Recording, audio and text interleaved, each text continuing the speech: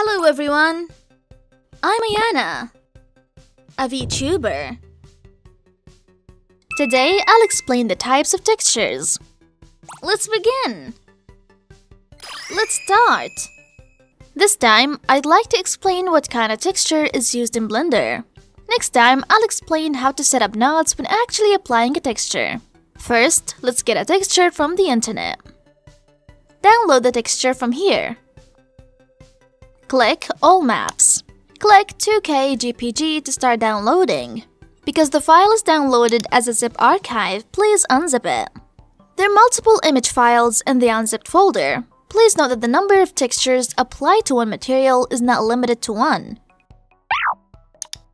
Here is the actual texture applied. By using textures, you can express not only colors, but also textures such as unevenness and roughness. From here, I'd like to introduce the main textures from the textures I got before. This is the texture color map.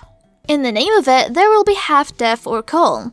This texture allows you to display colors that would only be expressed in a single color in pixel units. This is the normal map texture. In its name, there will be nor. It's difficult to model the fine unevenness on the surface of an object. Therefore, by using a normal map, although it is pseudo, you can easily express unevenness. Because it's a pseudo unevenness, it is not expressed in the contour part. This is the roughness map texture. Expresses roughness of the object. Blender comes with textures as standard. You can freely set the color and scale. You can add various textures by pressing Shift plus A and selecting Texture from the context menu.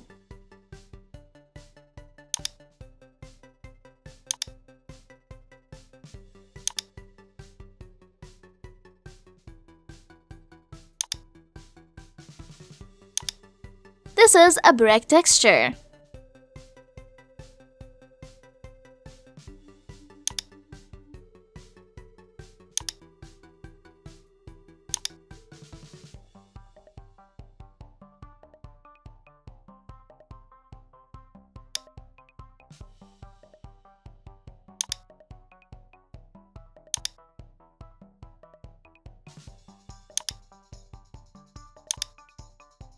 This is a checker texture.